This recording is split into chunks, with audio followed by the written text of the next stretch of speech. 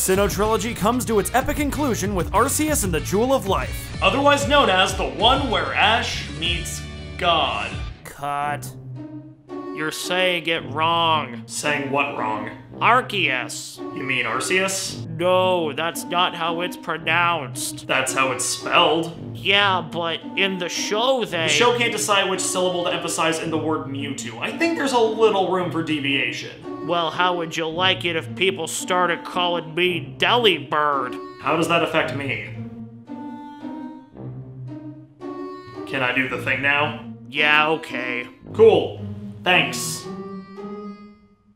Thousands of years ago, when the land of Michina was nearly destroyed by a meteor shower, Arceus, the Pokemon said to have created all of existence, gave a part of himself to make the land flourish again, creating the Jewel of Life. But when the time came to return the jewel to Arceus, a man named Damos betrayed him, keeping the jewel for himself. When Arceus returns to bring mankind to justice, even the combined powers of Palkia, Dialga, and Giratina are not enough to quell his rage, leaving Ash and the gang to rewrite history itself to save humanity from the wrath of a god. So here we are, the final installment in the Sinnoh trilogy, a story three movies in the making, with legendaries tied to the very fabric of creation itself. A feat the series had never attempted before, nor has it since. And it's a good thing too, because they did not pull it off.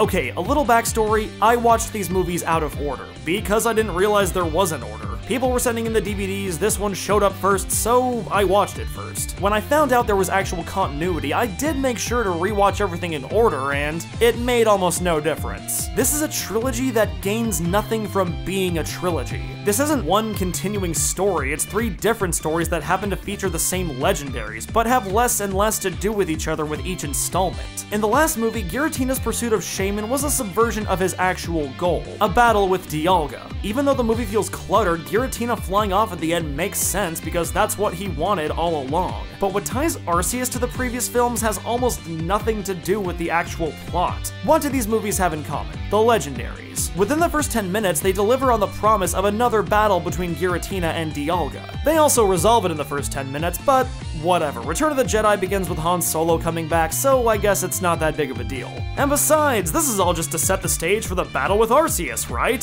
Isn't that the whole point of this one? Isn't that why the Osmond twins here spend the first half hour of this 90 minute movie telling Ash and the gang things they already know? Early on, we're introduced to one-shot expositing sidekicks Sheena and Kevin. Sheena has the power to connect with Pokemon on some spiritual level, while Kevin has the power to be named Kevin. And they both have the power to retcon themselves into past movies to recontextualize everything around Arceus. This was always leading to the climactic moment when Arceus awakens from his thousand year sleep to bring mankind to justice. And what ensues is a battle that rocks the very foundations of reality! Oh wait, no it doesn't. They just shoot beams at each other until you realize that the only reason any of this is happening is so Dialga can send Ash and the gang back to the past and the real story can begin. Now, I'm sure for fans of the Diamond and Pearl games, this moment is awesome. I imagine there's a bit of a thrill in seeing all these legendaries together on the big screen. Or rather, the small screen, because all these movies are now straight to video. But Diamond and Pearl were never my games. All I see is how pointless this all is. This is the event that's supposed to tie all three movies together, and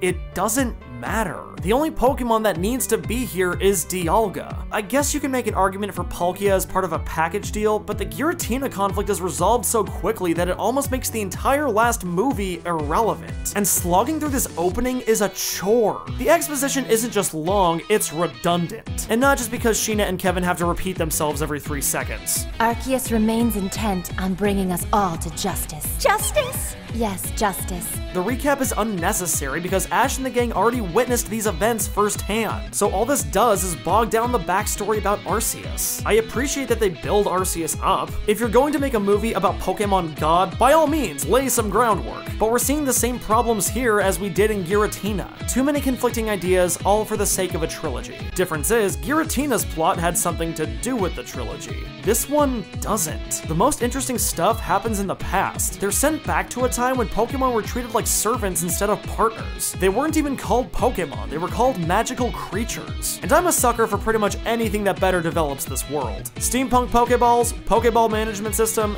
yeah, give me all that. And despite the overdrawn opening, they still take time to develop the setting. It doesn't feel half-assed, but the story still suffers. For one, they don't seem to understand how time travel works. One of the first things Sheena does is give us this little tidbit. Long ago, there was a thunder creature and its master, and they changed the fate of this town. which of course foreshadows Ash saving the day, as is his wont. But he hasn't done that yet because history is still playing out as if he hasn't. So how is there already a legend about him?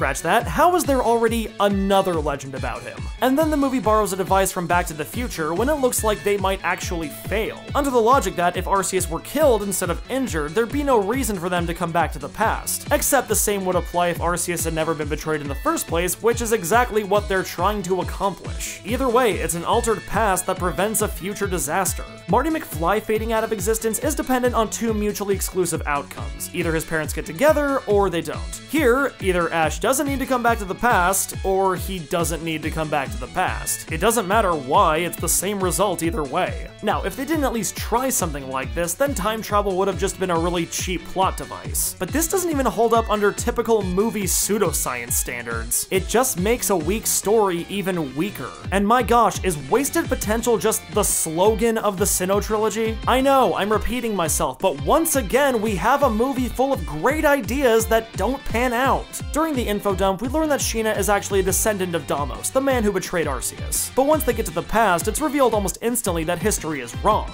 Damos had every intention of returning the jewel to Arceus, but was manipulated by his right-hand man, Jafar. Okay, his name isn't Jafar, it's Marcus, but I'm just gonna call him Jafar because he's freaking Jafar! He's more Jafar than Baron Alberto was Gaston, and that's pretty Jafar. On a scale of 1 to 10 of being Jafar, he actually stops being Jafar, transcends physical form to become a being of pure energy, but that energy just turns out to be pure unrefined essence of Jafar. Only where Jafar was sly and charismatic, this guy is probably the worst Pokemon villain to date. He's just evil, and not in a fun way like Phantom or hell, even the Iron Masked Marauder. And seriously, how does no one suspect this guy of foul play? Hey, Sheena, you gonna read between the lines here? Or are you too caught up in your ancestral guilt to notice the neon sign hanging over this guy's head? I do appreciate that they at least give Sheena an arc. She's so desperate to make things right that she can't see what's right in front of her, and I like that. A major theme of this movie is reconciliation, obviously between God and man, but also between Sheena and Damos. And she learns that the burden of what essentially amounts to original sin was never hers to bear. But my gosh, Jafar is practically brainstorming better ways to kill Arceus right in front of her, and it goes right over her head. I don't think this character was even necessary. I'm almost tempted to say that the exposition about Arceus is redundant because we see the same story play out in flashbacks, but by the time that happens, we've met Damos. By the way, that's Dan Green lending his voice again. Wait, you're saying you know me? Yes, of course! He's been humanized to the audience, so this is kind of like seeing the same story with new information. And what plays out could have been really compelling, at least by Pokemon standards. Arceus represents a very Western understanding of divinity. The righteous man and the benevolent self-sacrificing deity are staples of the Judeo-Christian tradition. But one idea the movie overlooks is that even the most righteous can fall short. Damos should have betrayed Arceus, or at least been tempted to. Instead of a race to stop another bad guy, we'd see Damos torn between what he knows is right and what he believes to be a necessary evil. And if we really needed a villain, they could have kept Jafar in as sort of a devil on his shoulder. And once he finally came around, then Jafar could take matters into his own hands. But not before Ash and the gang even show up. The relationship between God and man is a subject I never would have expected to see tackled in a Pokemon movie, and the scope of it demands something more than this sneering, obviously evil cop out. He's such an afterthought, he's the first Pokemon villain to actually die. No ambiguity, no resurrection, he just dies. And as for Arceus himself, the Pokemon equivalent of God, who thought this was a good casting choice? I won't let humanity deceive me anymore! You've got Dan Green in your movie, and he's not voicing the deity. Now, apparently, this voice actor was not their first choice. Several viewers have pointed out that originally, Arceus was supposed to be voiced by, get this, Vincent D'Onofrio. That's right, Vincent, Edgar from Men in Black, Kingpin from Daredevil, D'Onofrio. It obviously didn't work out, so instead they got Tom Wayland. And I think this was supposed to be their attempt at another Mewtwo. Mewtwo didn't have a deep, booming voice. At least not until Dan Green voiced him. He sounded old and almost frail. Here they probably wanted Arceus to have a more gentle quality to his voice, but also great power. A rage you would never know was there unless it was provoked. This is not that voice. Are you siding with the humans? This is the voice you settle for when Vic Mignogna is too busy. Out of my way! This doesn't instill fear or inspire awe. It makes me wonder why the word justice comes up more in this movie than the movie that actually has justice in the title.